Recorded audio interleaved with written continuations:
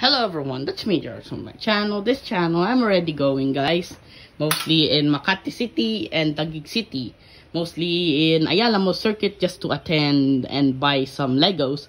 Just to attend the, the Lego comic, uh, the, the, the BrickCon, the BrickCon that is full of Legos or something. Because I'm going there just to visit there and buy some Lego set. And buy a lot of minifigures, a lot, more than 7 or 8 Lego sets. And after that, we're going to BGC in Taguig guys such a sunny day or something here in November. So very, very rainy and so sunny here in the Philippines.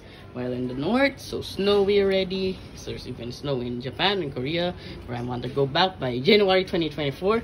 Being Japan and and and then South Korea trip by this year 2020 by next year 2024. But it's already 2023, and this is just even a beginning of autumn or winter, actually autumn or gaul in in Korean or winter like gaul, Yeol actually winter gaul favorite.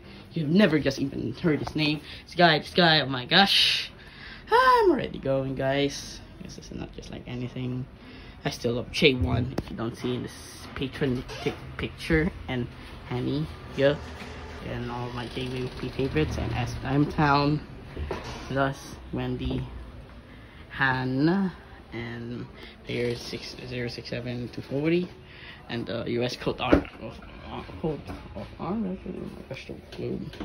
and this is the the country's name actually. But we'll put more pictures of it. I'm gonna put more pictures of Annie, Chaewon and Winter over here. Yep